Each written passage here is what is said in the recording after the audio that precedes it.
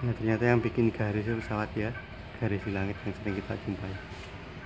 Nah, dulu waktu awal-awal masih belum apa ini pesawat.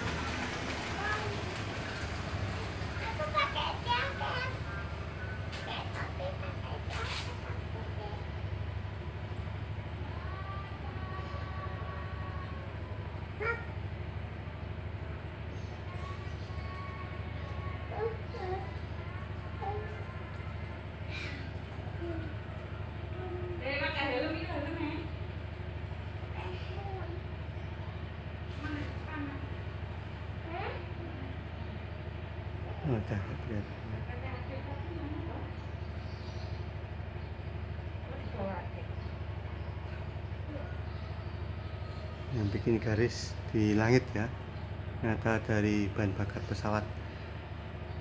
Kelihatannya terbukti ya. Nah, oke. jauh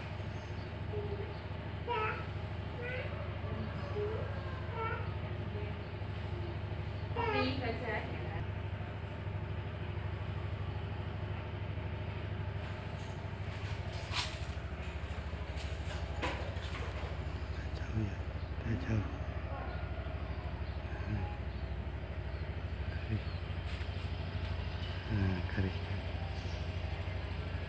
hmm, dari sana sampai hmm.